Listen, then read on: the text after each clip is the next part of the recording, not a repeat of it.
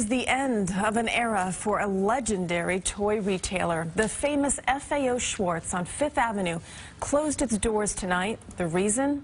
Rising rents. But as CBS 2's Tracee Carrasco reports, it may not be long before it finds a new home.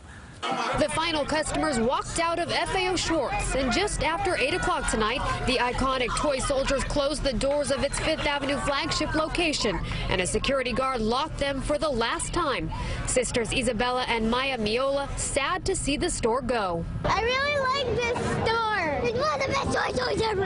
And it wasn't just the children. I'm so very sad. It's just, it's such a great place. I'm not from the country, so I just wanted to come and check it out before it closed. All day long, generations of FAO Schwarz shoppers came from near and far just for one last trip to the popular Manhattan toy store. Well known for its giant piano, made famous in the 1988 movie Big, starring Tom Hanks. My mom used to bring me, I used to bring my son. So before it closed, I wanted to bring my three and four year old. During its more than 150 year history, FAO Schwarz has resided at a number of addresses throughout New York City.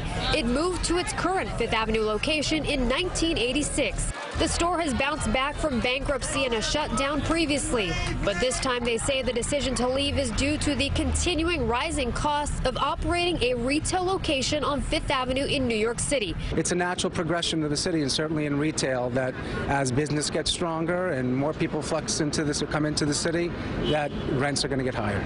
A spokesperson for the store tells us that while they are sad to close their location here, they are excited about the opportunity to create a new flagship location. They say they are actively searching right now in Midtown Manhattan. Reporting from Fifth Avenue, Tracee Carrasco, CBS 2 News.